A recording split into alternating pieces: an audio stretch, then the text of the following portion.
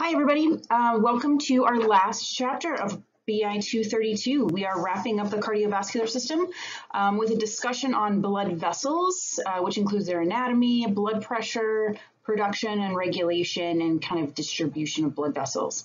So um, I usually start off with a just kind of a visual. If you've ever gone to a bodies exhibit, um, one of my favorite parts of those human bodies exhibits are the blood vessel room because they have this way of stripping everything away from the body uh, except for the blood vessels. And so you can kind of see this display here on the screen. Um, it's really fascinating. They had individual organs, different like a leg or an arm or the lungs or the kidney and the whole shape of the organ can be told just by the distribution of blood vessels. You don't need anything else but the blood vessels, um, which really kind of helps you visualize how vascular our bodies really are.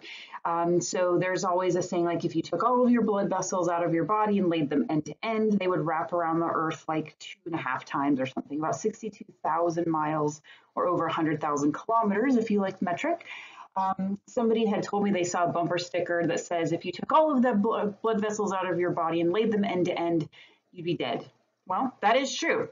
Um, so this is uh, the first video we're going to take a look at is the anatomy of blood vessels. So we're going to take a look specifically at the differences, um, the structures and the differences between arteries, veins, and capillaries. All right, so when we take a look at um, the wall of a blood vessel. So before we get too far into this, just to clarify, when we talk about arteries, arteries are the blood vessels that move blood away from the heart. So I always remember that because A for artery and A for away. So any blood vessel that is at the, you know, moving blood from the heart out to the body, away from the heart, those are called arteries.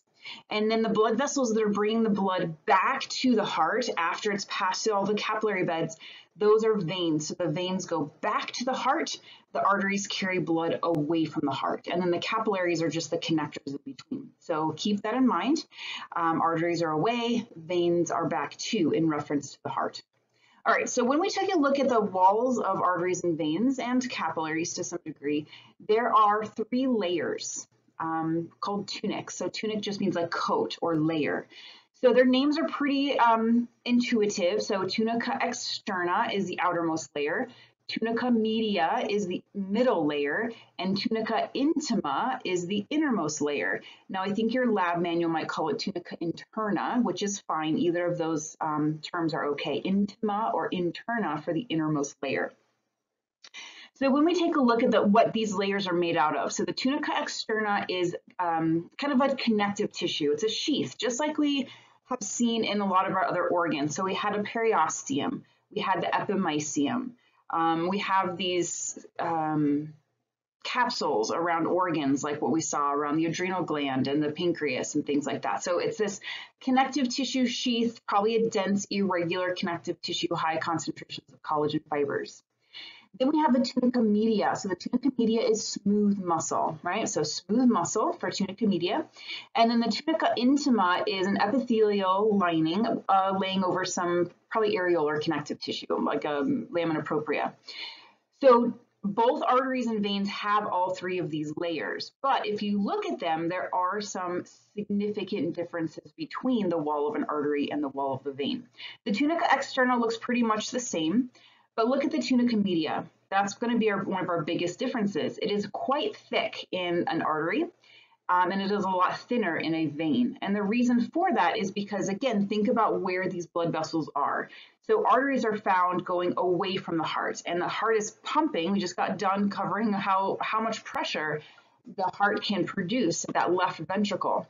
So the walls of arteries have to be a lot stronger than those of veins and they have to have some flex. They have to be able to expand and recoil with every pulse of blood that's coming through um, at every heartbeat.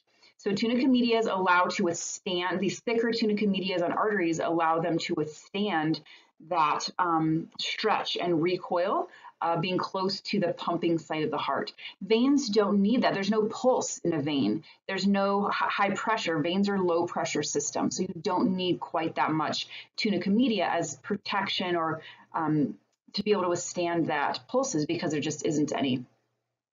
The tunica intima is pretty similar. It's just a simple squamous epithelium, or sometimes called the endothelium, that's sitting on some tunica or some lamina propria. But if you'll notice in the artery, the tunica intima epithelial, that simple squamous epithelium, is kind of wrinkly. And again, that goes to this idea that when the pulse comes through, the arteries have to expand and then recoil, expand and recoil. So in the recoiled state, when there's not a big bolus of blood kind of pushing through the blood vessel, that uh, endothelium kind of wrinkles on itself. We don't see that in uh, veins. There's no pulse in veins, so they are just a continuous uh, flow of blood, so they don't wrinkle up on themselves like you would see in an artery. Okay.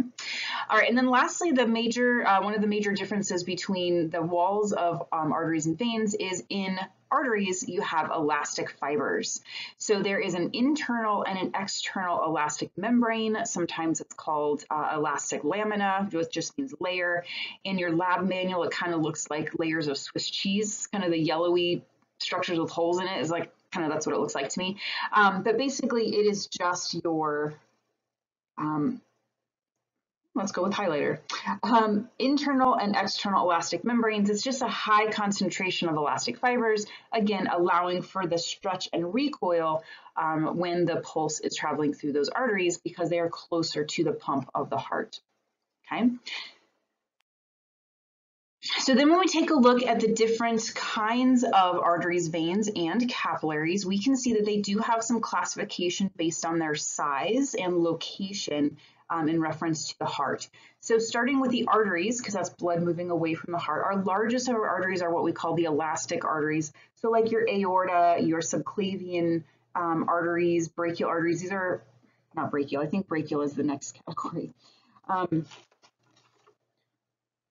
yes, Aorta, pulmonary trunk, there we go. Those large ones coming off of the heart are gonna be our large elastic arteries.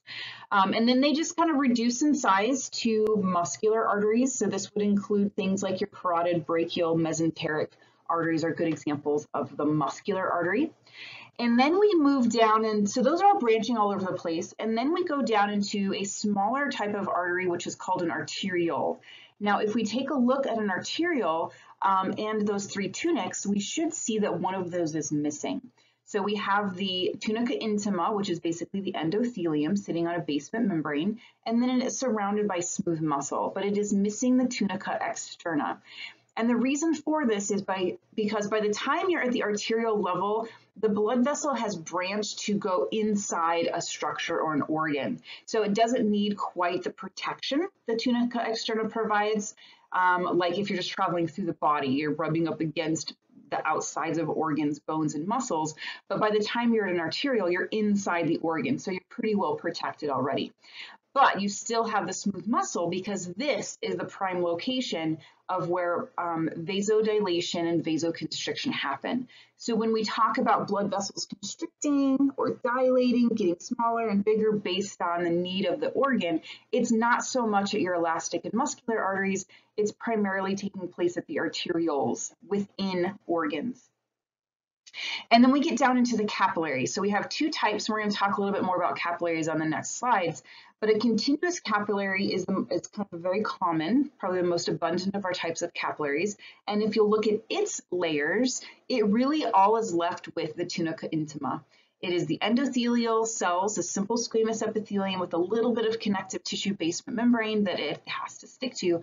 No arterioles, no, uh, sorry, no arterioles, no tunica media, no tunica externa, just the tunica intima, which is simple squamous epithelium. And this is the location of all of the exchange, which is going to be a whole other video on itself. Um, and then next to that, they're showing an example of a fenestrated capillary. Fenestrated capillaries are only found in certain locations in the body where you need a lot more exchange than you would normally with a continuous capillary.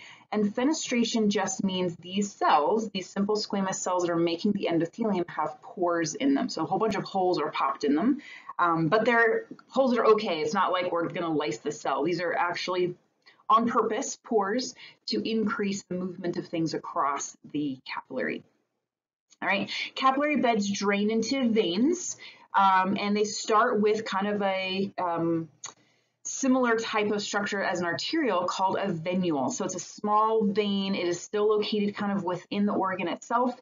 and it lacks a tunica media. So it's just endothelium and some connective tissue around that, the tunica externa. The venules will fuse into our medium-sized veins. Let me see if I have an example. Medium-sized veins, um, oh, I don't have an example, but that would be like your brachial vein, your um, radial and ulnar veins, the kind of the, the the veins that are on your blood vessel list would be most of those are going to be considered medium-sized veins. And then those are going to fuse and blend into your large veins, which your brachiocephalic vein, your superior and inferior vena cavas are all great examples of these large veins. And they have all three layers like medium-sized veins.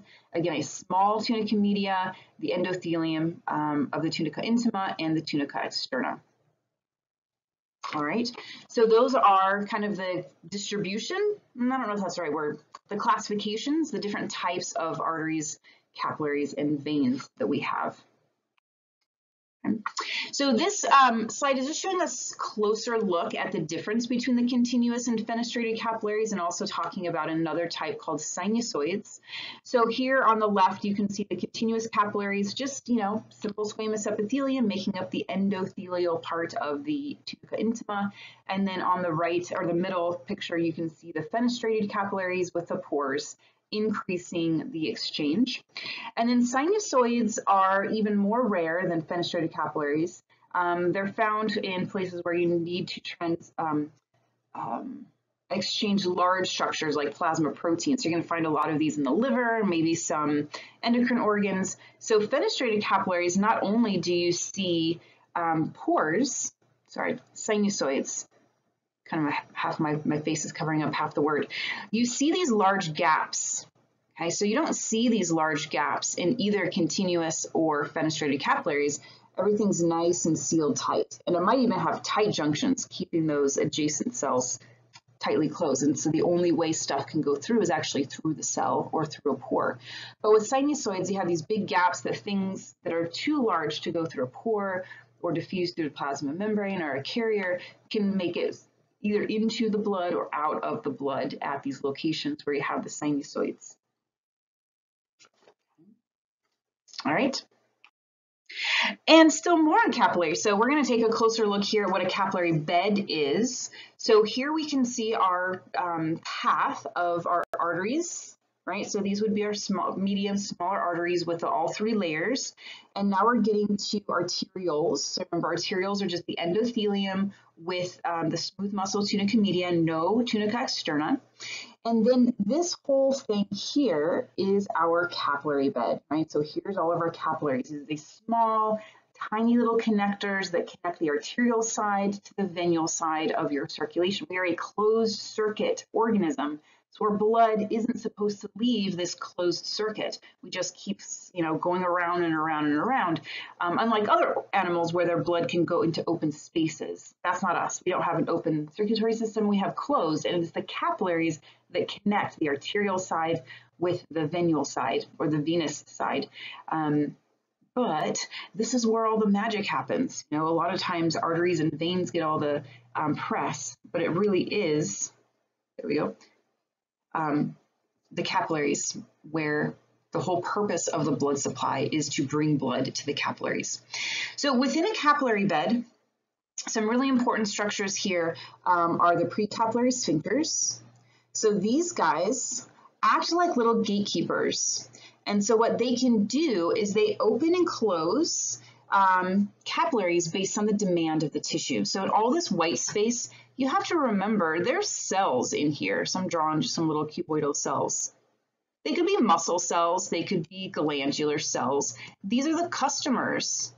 These are where why we have capillaries because it is in these small capillaries the walls are thin enough to allow for oxygen and carbon dioxide to diffuse, for nutrients and waste products to be carried. This is where our cell customers get fed and drop off their waste products in the capillaries.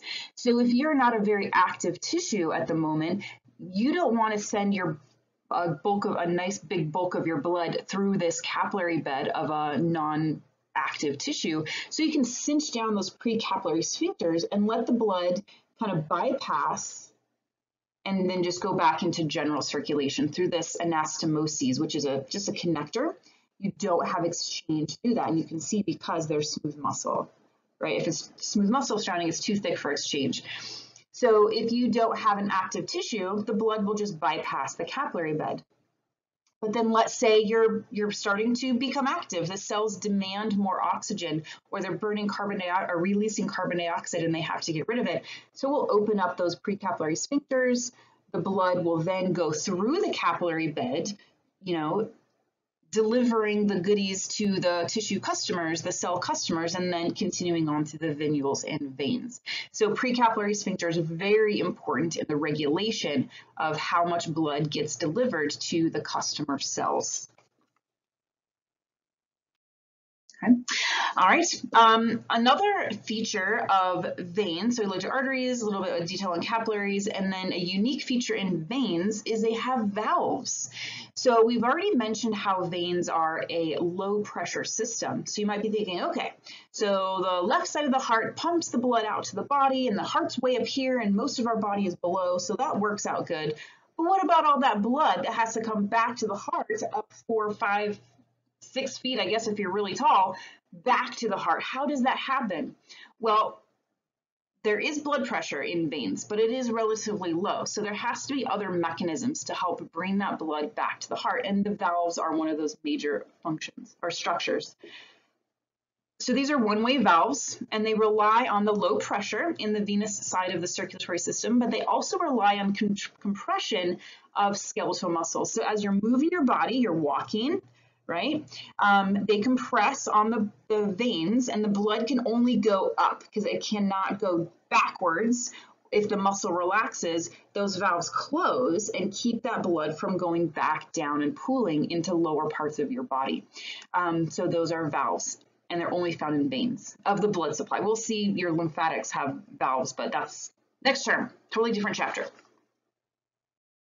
The last thing we're going to cover in this video is just a distribution of where the blood is in any moment of time. So if you're to take a snapshot, where's all your blood? You have like five liters, five to six liters of blood, right? We learned that back in chapter 19. So where is those, where, where is that five or six liters of blood? Now it's kind of interesting to see that most of the blood, about two thirds of the blood is in your veins at any given moment. And it's pretty evenly distributed between your large veins, your venous networks like your liver, bone marrow, and skin, and your venules and medium-sized veins. So they're about 20, 25%.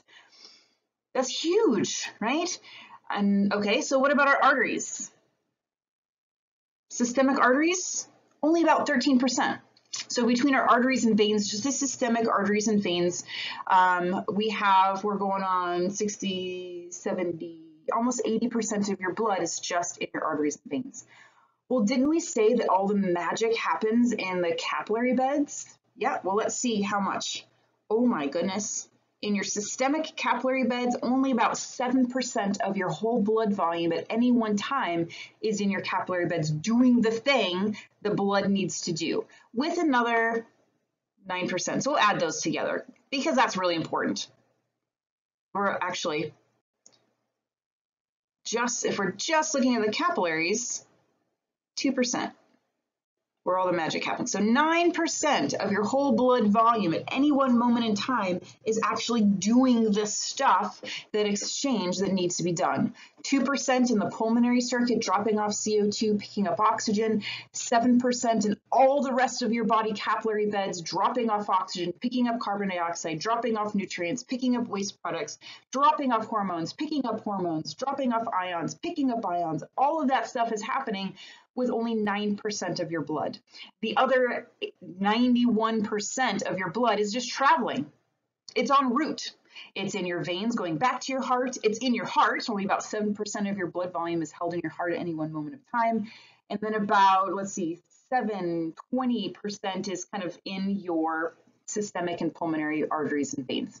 Pretty amazing statistics there. I just find that fascinating that with all of the capillaries that we have, they're so small, um, only about 9% of our blood can fit through them at any one moment of time. But it's enough to allow us to survive and live. Okay, that wraps up our anatomy of blood vessels. Um, next, we're going to take a look at blood pressure, kind of what generates blood pressure and um, kind of the factors that affect blood pressure. All right, I'll see you next time. Bye.